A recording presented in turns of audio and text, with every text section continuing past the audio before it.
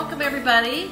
For my regular podcast listeners, you know that I am very much into eating healthy and doing everything I can to maintain brain health. So, last night, hubby and I were like, man, we're really in the mood for pasta. And I said, don't worry about it. I'm making fresh pasta tomorrow while you're doing the open house. So I thought I would share with you my recipe because not only is this good for your brain, for those of us who are taking care of somebody with Alzheimer's or somebody with little kids that doesn't like to eat vegetables. This has got a ton of veggies in it and you'd never know, it tastes fantastic. So the first step is to brown the onions. Now it calls for, you know, chopping up a whole onion, and ugh, I hate that. And it drives me bananas that my um, local grocery store doesn't carry the chopped onions frozen. So I got these petite whole onions. So I figured this is gonna all slow cook. And if I have to, I can use the immersion blender at the end to get it all smooth. So we're gonna let those brown a little bit. Left my spatula over here. Just a little bit of olive oil in here. And for the recipe, hello camera, why'd you move over there? Back over here. To be following me, there we go. Working with new equipment here. Um, the first thing I did was brown the meat. And the recipe is down below. So, we're gonna brown the onions a little bit. Over here, got my recipe all wet, so I'll probably have to reprint it. And then get into that age where you gotta have the readers. Yeah, you wanna cook the onions until they're translucent.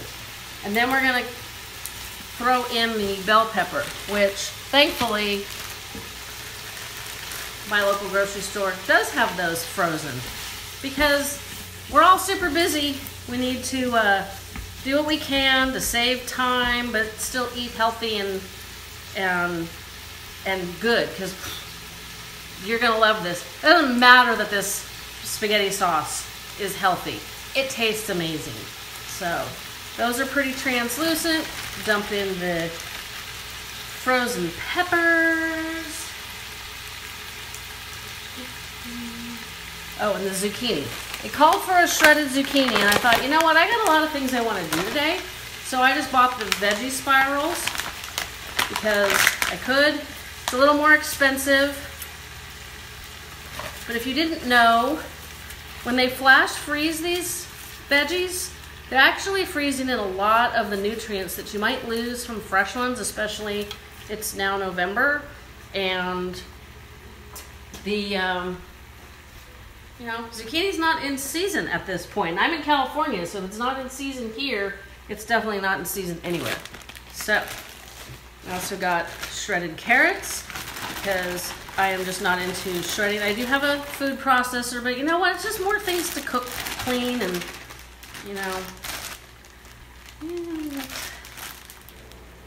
10 ounces, two cups, so I'm gonna put the whole thing in there. Almost didn't, said two cups of carrots. Stir that all up. And you're thinking, there's no way in heck my family would eat this. Well, when my daughter lived at home, she's like a purist. You know, she liked the jar stuff. It was easy, tasted good. It's what she grew up on.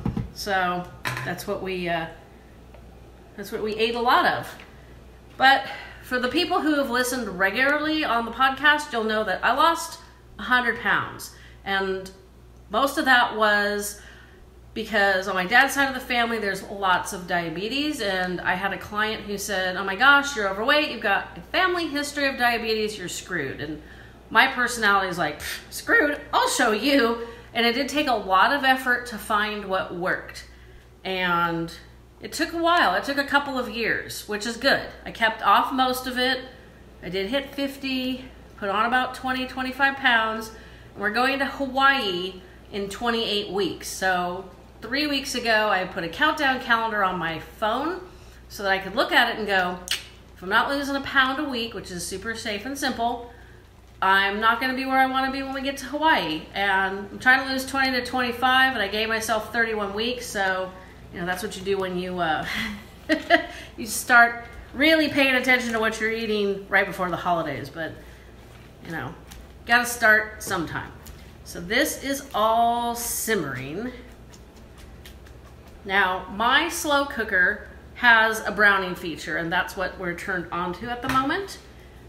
Like I said, because I did the meat, so there's a little bit of the fat from the meat in there.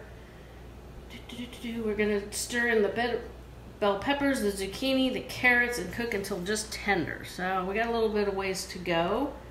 And then we're gonna stir in the spices. And then we're gonna put in the tomatoes. Now it calls for just regular tomatoes, but I get the ones in the can that are already got the Italian seasoning because like, why wouldn't you? So we're gonna give this a little bit more time.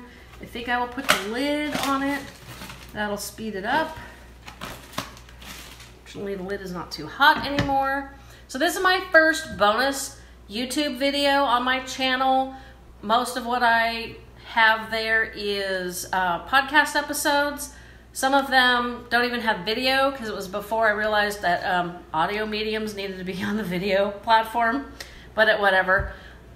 I wanted to share with you some of the things that I do to keep my brain healthy, my body healthy, and I thought, what better way to start than this recipe that like everybody's gonna love? Because who doesn't love spaghetti? And like I said, if you've got a fussy kid, you can make this work. Maybe slightly less veggies. Definitely use the uh, immersion blender when you're done. They'll probably never even know.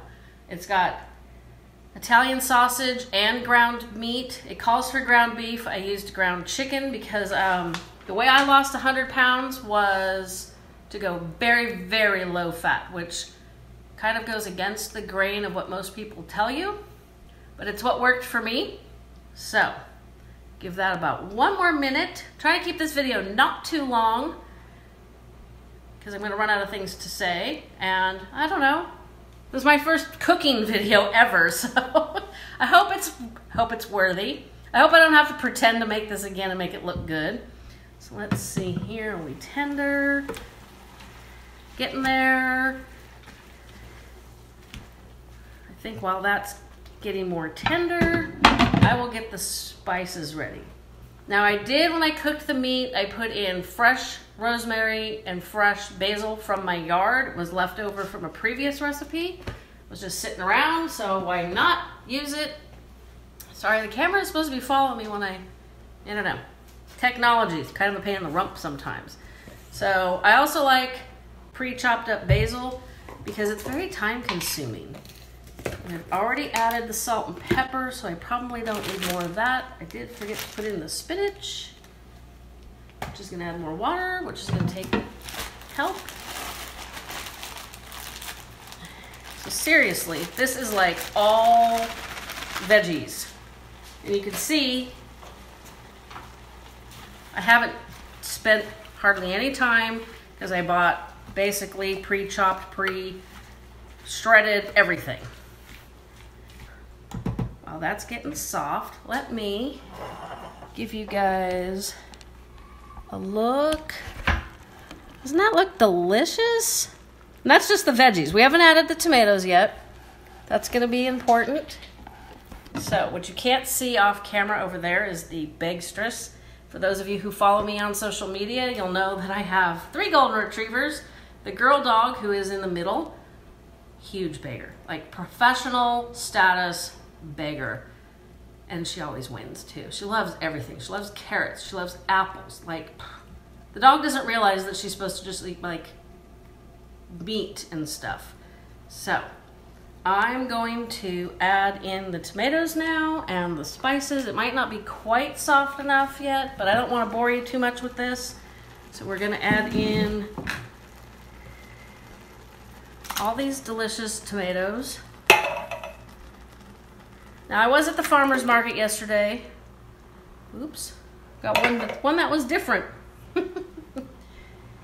I got two crushed, or one crushed and two diced, but that's okay.